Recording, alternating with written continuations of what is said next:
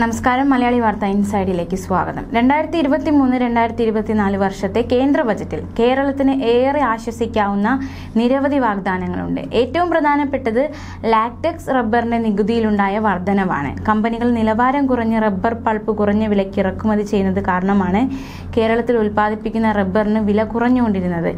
ആ സാഹചര്യത്തിൽ കംപ്രസ് റബ്ബറിന് നികുതി ഉയർത്തിയതോ ഇറക്കുമതി കുറയുമെന്ന ധാരണയിലാണ്.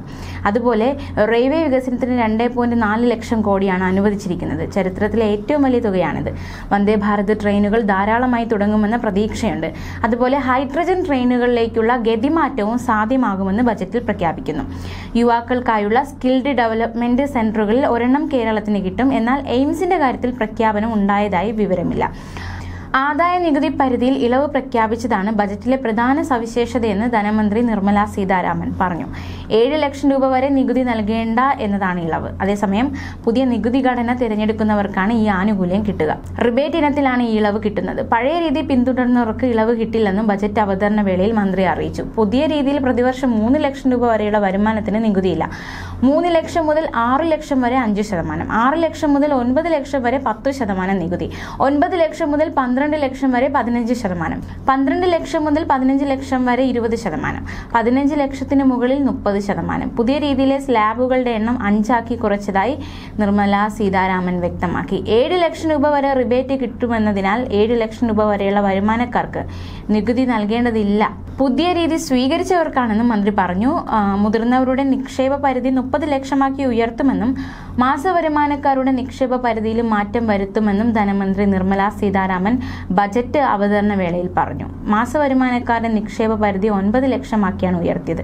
ജോയിന്റ് അക്കൗണ്ട് ഉള്ളവരുടെ നിക്ഷേപ പരിധി പതിനഞ്ച് ലക്ഷമാക്കിയും ഉയർത്തി. വനിതകൾക്കായി ഒറ്റത്തവണ ചെറു നിക്ഷേപ പദ്ധതി പ്രഖ്യാപിച്ചു.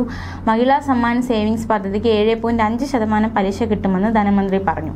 രണ്ട് ലക്ഷം രൂപ വരെ മൂന്ന് വർഷത്തേക്ക് നിക്ഷേപിക്കാം. ഒൻപത് ലക്ഷം വരെ വേതനം വാങ്ങുന്നവർ നാൽപ്പത്തി രൂപ ആദായ നികുതി അടച്ചാൽ മതി.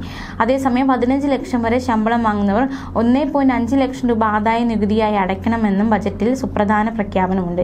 ജോയിന്റ് അക്കൗണ്ടുകൾക്കുള്ള നിക്ഷേപ പരിധി ഒമ്പത് ലക്ഷത്തിൽ നിന്നും പതിനഞ്ച് ലക്ഷമാക്കിയും ഉയർത്തി. രണ്ടായിരത്തി ഇരുപത്തിനാലിലെ ലോക്സഭ തെരഞ്ഞെടുപ്പിന് മുമ്പുള്ള അവസാന സമ്പൂർണ ബജറ്റാണ് അവതരിപ്പിച്ചിരിക്കുന്നത്. അടുത്ത വർഷം തെരഞ്ഞെടുപ്പ് നടക്കാനിരിക്കുന്ന പശ്ചാത്തലത്തിൽ കൂടിയാണ് നികുതി ഇളവ് അടക്കം പ്രഖ്യാപിച്ചിരിക്കുന്നത്. ബജറ്റിലെ പ്രധാന പ്രഖ്യാപനങ്ങൾ കൂടി നോക്കാം. പി എം ഗരീബ് കല്യാൺ അന്ന യോജന ഒരു വർഷം കൂടി തുടരുമെന്നും ധനമന്ത്രി വ്യക്തമാക്കി. രാജ്യത്ത് ആരും പട്ടിണി കിടക്കേണ്ടി വരരുതെന്നാണ് സർക്കാർ നയമെന്നും പ്രഖ്യാപിച്ചു. എല്ലാ അന്ത്യോദയ ഗുണഭോക്താക്കൾക്കും ഇതിന്റെ പ്രയോജനം കിട്ടും. ഇതിന് രണ്ട് ലക്ഷം കോടി രൂപയുടെ ചെലവ് കേന്ദ്ര സർക്കാർ വഹിക്കും. എൺപത്തിയൊന്ന് കോടി ജനങ്ങൾക്ക് പ്രതിമാസം അഞ്ച് കിലോ ഭക്ഷ്യധാന്യം സൗജന്യമായി കിട്ടും. മൂന്ന് ഘടകങ്ങളാണ് ഊന്നൽ. ഒന്ന് പൗരന്മാർക്ക് അവസരങ്ങൾ വർദ്ധിപ്പിക്കൽ. യുവാക്കൾക്ക് മുൻഗണന. രണ്ട് സാമ്പത്തിക വളർച്ചയും തൊഴിലും വർദ്ധിപ്പിക്കൽ. സാമ്പത്തിക സുസ്ഥിരത ഉറപ്പാക്കൽ. സാങ്കേതിക വിദ്യയിൽ അധിഷ്ഠിതമായ സമ്പദ്ഘടനയാണ് ലക്ഷ്യമിട്ടിരിക്കുന്നത്. അറുപത്തി മൂന്നായിരം പ്രാഥമിക സഹകരണ സംഘങ്ങൾ ഡിജിറ്റൈസ് ചെയ്യാനായി രണ്ടായിരത്തി അഞ്ഞൂറ്റി പതിനാറ് കോടി രൂപ വകയിരുത്തിയിട്ടുണ്ട്. സുസ്ഥിര വികസനം എല്ലാ വിഭാഗങ്ങളിലേക്കും വികസനം എത്തിക്കൽ കൃഷിക്ക് ഐ ടി അധിഷ്ഠിത അടിസ്ഥാന വികസനം കാർഷിക സ്റ്റാർട്ടപ്പ് ഫണ്ട് രണ്ടായിരത്തി ഇരുന്നൂറ് കോടി രൂപയുടെ ഹോർട്ടിക്കൾച്ചർ പാക്കേജ് മത്സ്യമേഖലയ്ക്ക് ആറായിരം കോടി സ്ത്രീകൾക്കും പെൺകുട്ടികൾക്കും പുതിയ നിക്ഷേപ പദ്ധതി ഈ കോടതികൾ തുടങ്ങാൻ ഏഴായിരം കോടി രൂപ കോമ്പൗണ്ടഡ് റബ്ബർ തീരുവ കൂട്ടി.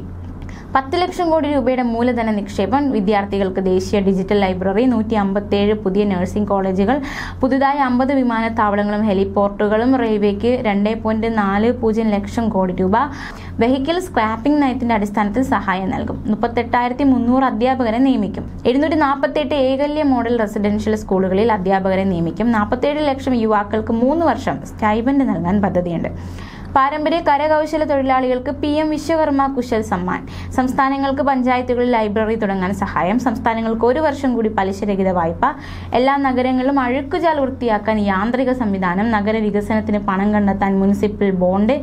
ആർട്ടിഫിഷ്യൽ ഇന്റലിജൻസ് വികസനത്തിനായി മൂന്ന് കേന്ദ്രങ്ങൾ. ഫൈവ് ജി ആപ്പുകൾ വികസിപ്പിക്കാൻ എഞ്ചിനീയറിംഗ് കോളേജുകളിൽ നൂറ് ലാബുകൾ. പി എം ആവാസ് യോജനയ്ക്ക് എഴുപത്തി ഒമ്പതിനായിരം കോടി. പി എം ആവാസ് യോജന അടങ്കിൽ അറുപത്തി ആറ് ശതമാനം വർദ്ധിപ്പിച്ചു. എല്ലാ സർക്കാർ ഏജൻസി ഏജൻസികളും പാൻ തിരിച്ചറിയൽ രേഖയായി സ്വീകരിക്കും. ബിസിനസ് തുടങ്ങാൻ ഇരുപതോളം വ്യത്യസ്ത ഐഡികൾ.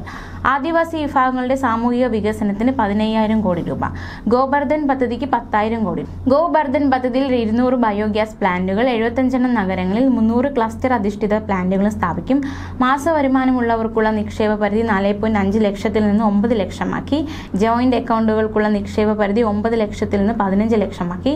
കാർഷിക വായ്പയ്ക്കായി ഇരുപത് ലക്ഷം കോടി. കാർഷിക സ്റ്റാർട്ടപ്പുകൾക്കും സഹായം വരൾച്ച ദുരിതാശ്വാസത്തിനായി കർണാടകയ്ക്ക് അയ്യായിരത്തി മുന്നൂറ് കോടി.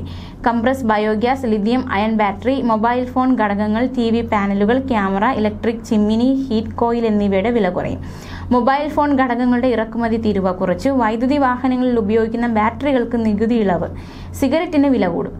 തുടങ്ങി ജനക്ഷേമകരമായ ബജറ്റാണ് നിർമ്മല സീതാരാമൻ ഇന്ന് അവതരിപ്പിച്ചത്.